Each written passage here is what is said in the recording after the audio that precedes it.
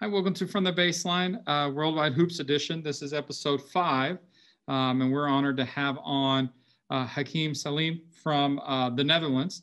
He is the um, uh, the national team coach there for the Dutch nationals team, and and in charge of the pathways coming up. And so we're honored to have him with us um, on episode five, and and we talk about the development pathway there in, in Netherlands and and uh, the recruitment of Dutch players. And, and so I uh, hope you enjoy this interview.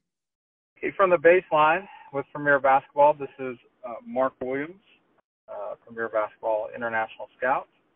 And I am joined today by Hakim Salem.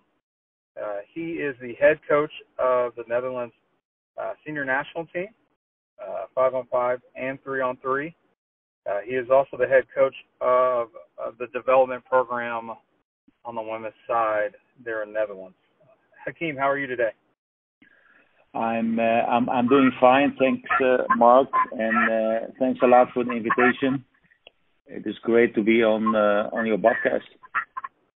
We we appreciate you coming on with us. How is uh before we get started in the basketball stuff? How's life there in the Netherlands uh, with the coronavirus? Uh, to be honest, Mark, is pretty boring right now. We are uh, we are uh, locked down. Uh, no practices. The schools are shut down.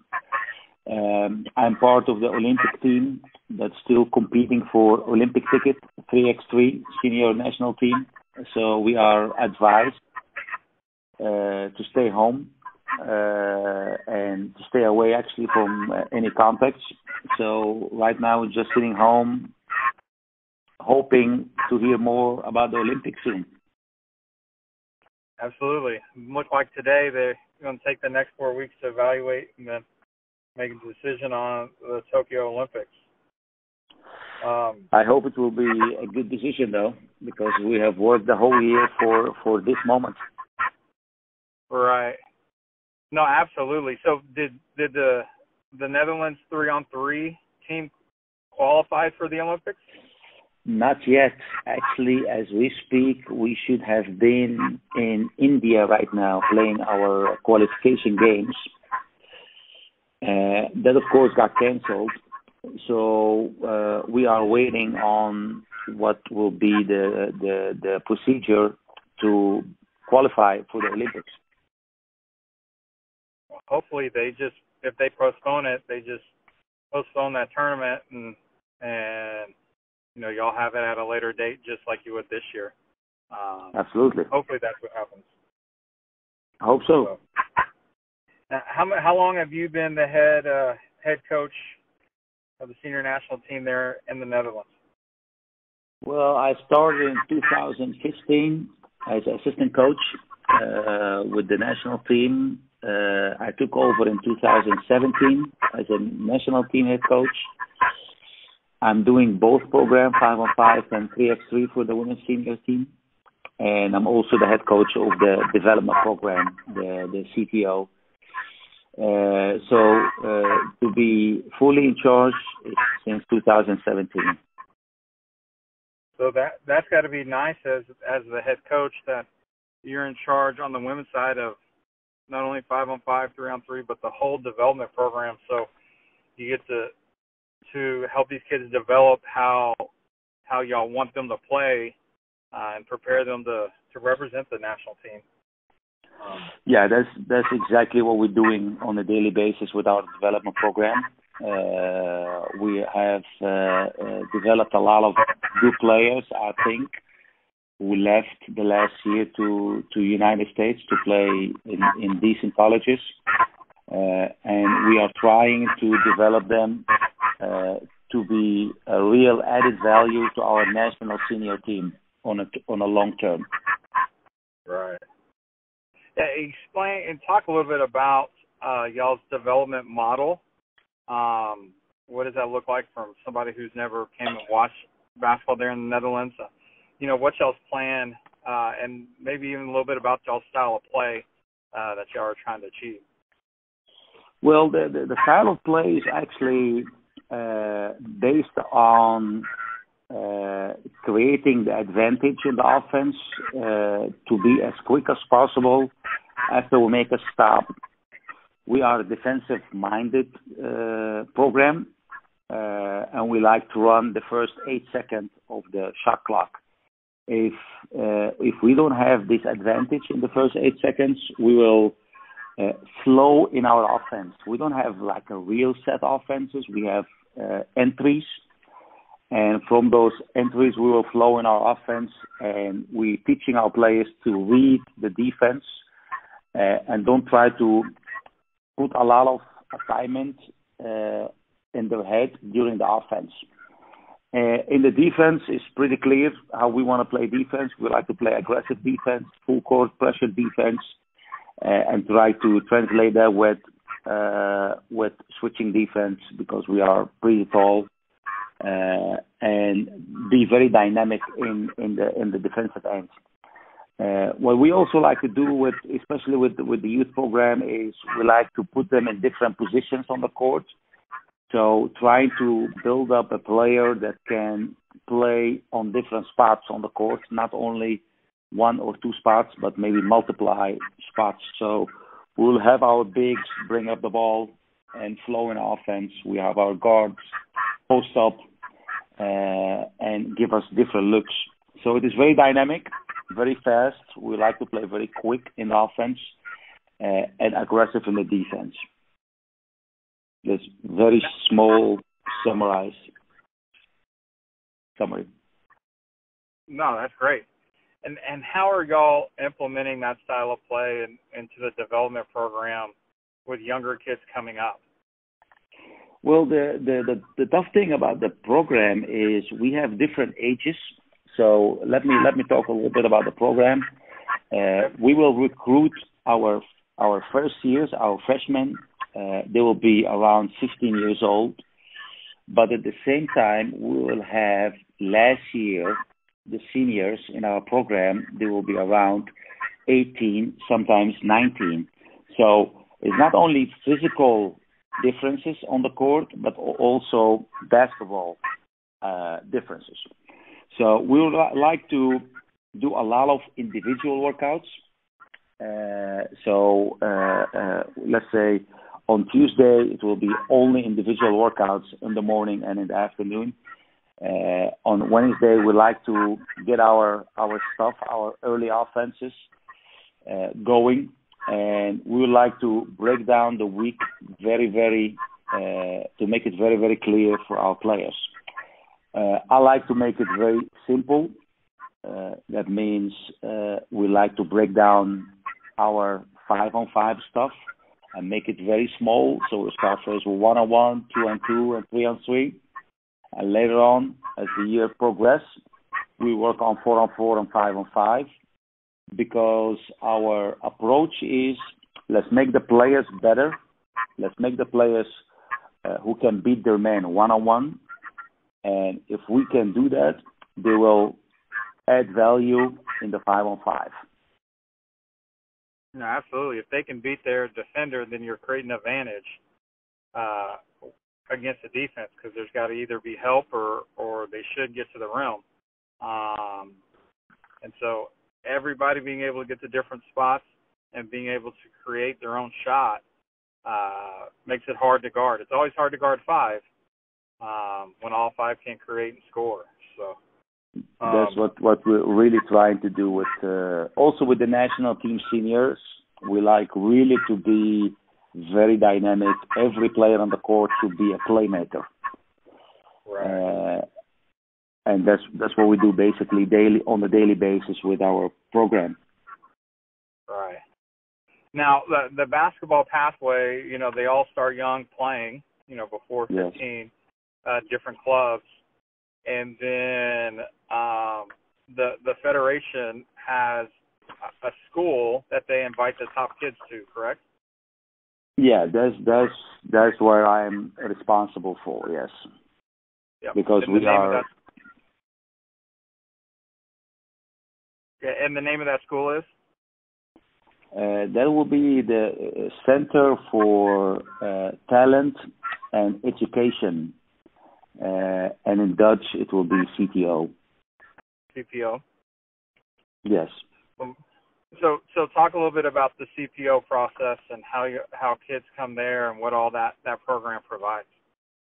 Well, CTO you can compare it with uh, a, college system actually, but for younger players. So will they will leave their own house or or parent house and come and live in Amsterdam uh, nearby the school.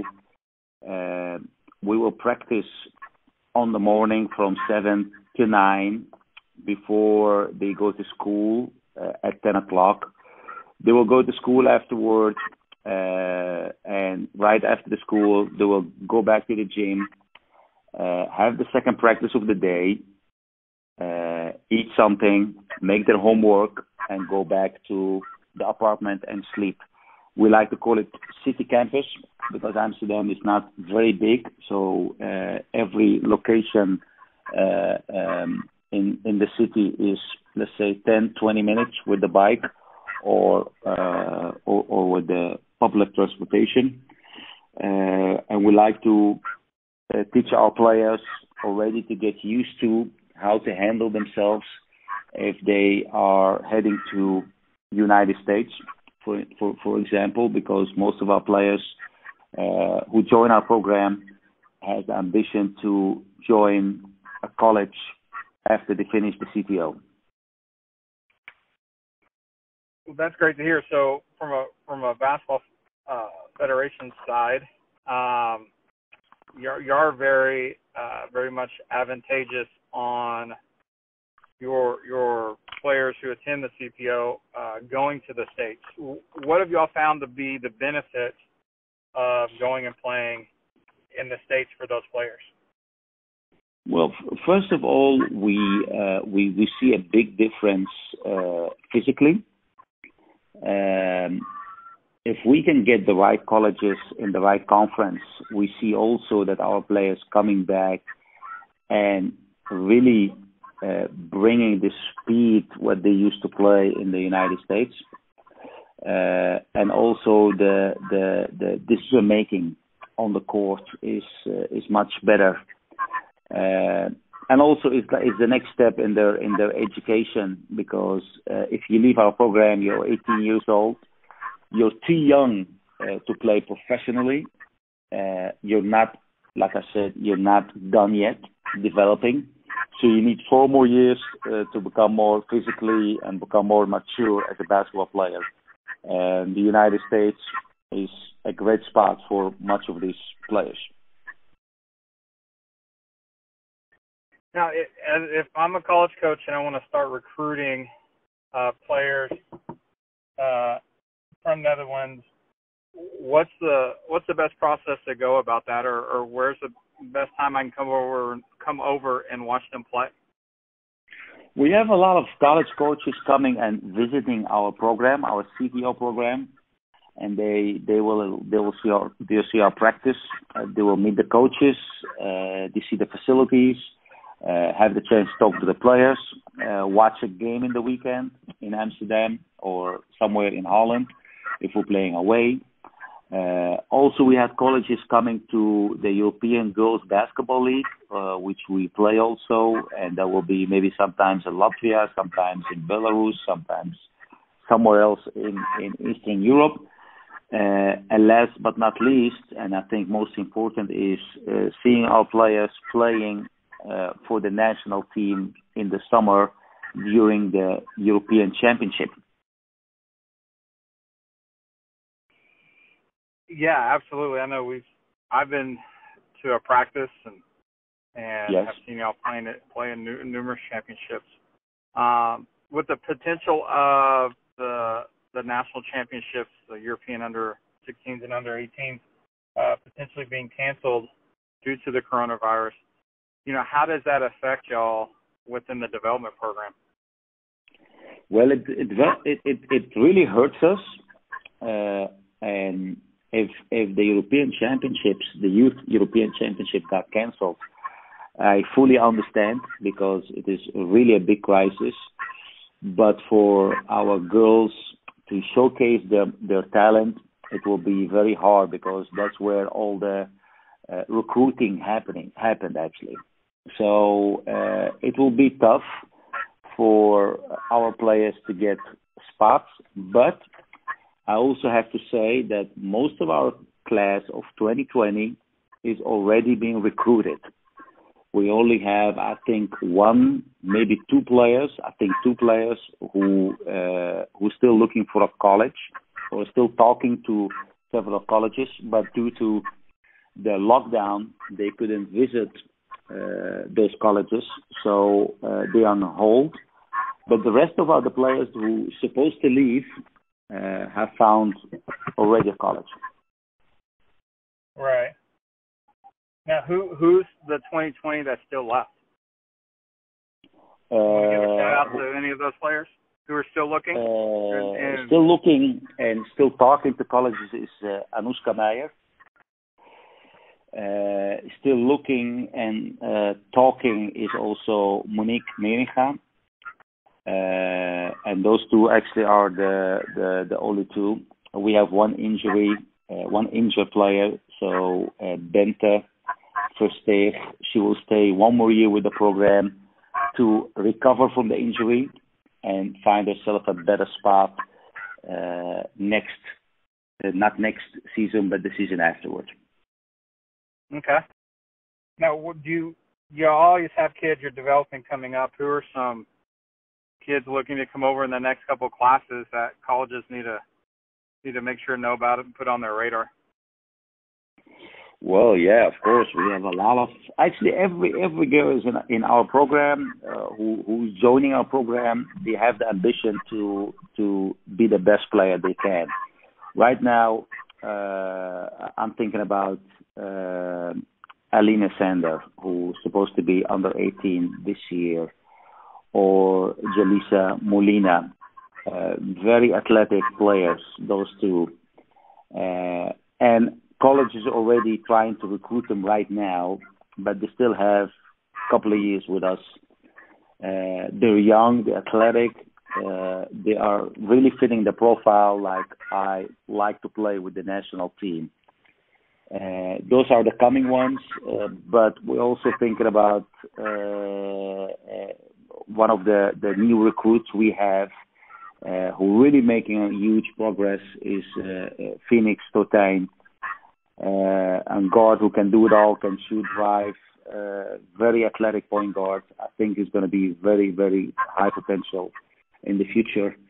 I'm not going to mention the whole team, but uh, we we have a couple of girls that uh, that will make a big noise in a couple of years. That's good to hear.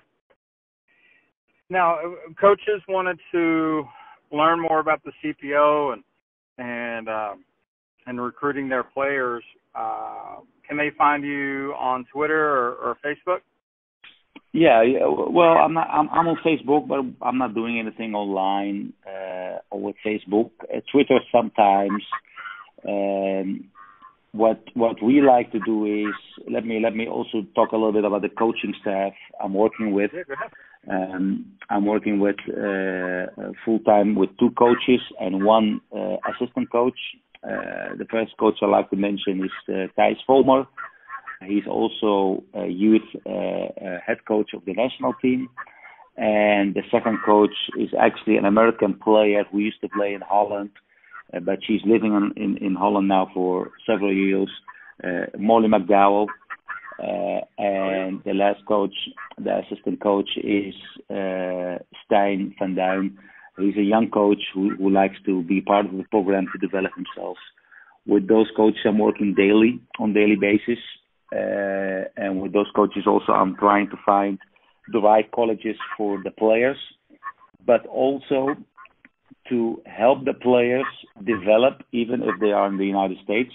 And if they have questions, uh, if they have anything to ask us, uh, they can reach out for, for, for us. So this is the coaching staff. Uh, we are not very, very busy online. Uh, we don't have the, the urgency to do that. Uh, of course, you can find me on Twitter.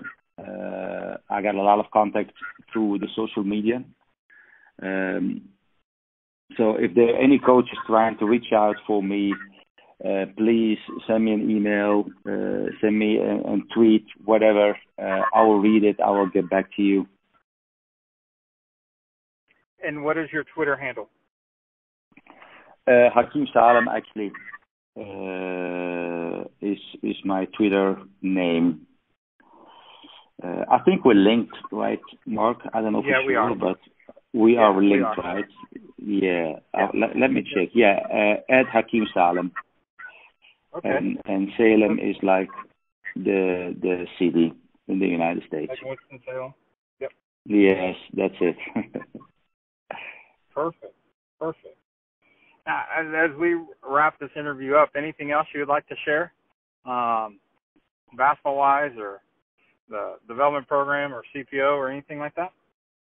well, uh, I always like to to to develop the program and and get to know also what what, what colleges are looking for if, if they're recruiting players. Uh, and I would love to hear from from different colleges and different coaches what they are looking for, but also maybe get a chance to uh, look inside the kitchen and get to know more about uh, uh, the high performance culture of basketball in the United States. Absolutely. Well, I'm sure there will be, uh, you know, some colleges reaching out and sharing about their stuff and building relationships, and and uh, you know, we'll most definitely keep our conversation going as far as players and stuff, and you know, maybe here in the near future, uh, the CTO team can come over and play uh, in an event here in the states, uh, and get to visit some schools and and get to see firsthand. Um, and play against some of the talent here in the states. Uh, you know, during the during the, the our high school season. Yeah, that would be great. That would be really great for us. So, well, we appreciate you coming on to the call to the interview with us, and and My uh, pleasure. I know we we've connected. I enjoyed my time there. Um, the national team workout uh, about two years ago. Um, Yes, over and I remember. and enjoyed my time, and and look look forward to coming back over once all this uh, coronavirus stuff settles down and and we can start traveling and and get back to life normal. You're always welcome, Mark. You know how to reach me. Uh, so, looking forward to meet you again. Sounds good. For uh, Mark Williams with Premier Basketball, this is from the baseline.